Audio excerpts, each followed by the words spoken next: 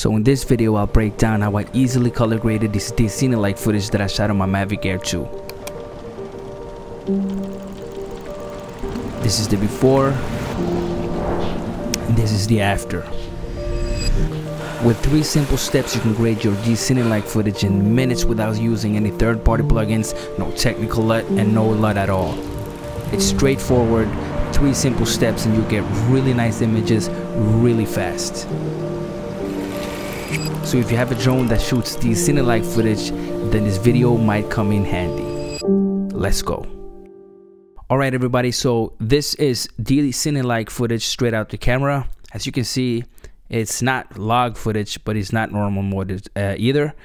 And this is the clip that we're working with. So the first thing you want to make sure of is to go up here and add a correction. The first correction we're adding is the color curves.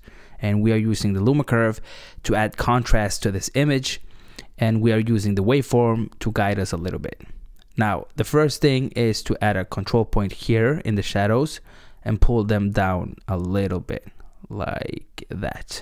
And then a control point here in the highlights and pull these up quite a bit like this. In seconds, we have corrected the image. This is the first step actually. The second step is to go in here and add hue and saturation curves um, I want to I want to change the blue color uh, a little bit and um, I use the color picker to go in here and you know drag this so I can pull up the blues a little bit and change the hue of the color which means I'm actually changing the color of the blue to a slightly different blue color like this.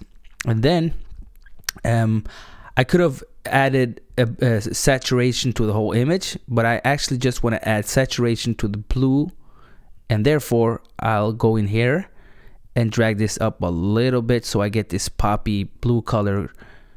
And um, yeah then I'll do the same with the hue versus luma which means that I'm only affecting the luma of this particular hue which is the blue. Drag this up a little bit just a little bit and see this is the difference this has made. And uh, let's see if we remove all the effects. This is the D-Cine-like footage and this is what we have now. It's looking pretty good already. I could have called it a day and used this footage, but I'm adding the last step and the last layer of color, which is the color wheel. And here I can, you know, I shot this during sunset, so I just want to emphasize the sunset vibe. And um, I want to add a little bit of warmth in this image, like so.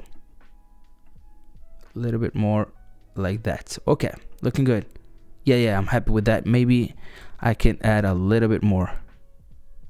Yeah like that all right everybody this is the end result. I hope you enjoyed this video. I hope you enjoyed this color grade. And if you did give it a like. If you have any questions just leave them in the comments below and i will answer you as soon as possible. Thank you to all the new subscribers. I really appreciate it. And if you haven't subscribed yet consider subscribing because i will be making more videos like this in the future. And uh, yeah thank you so much for watching guys. Uh, have a great day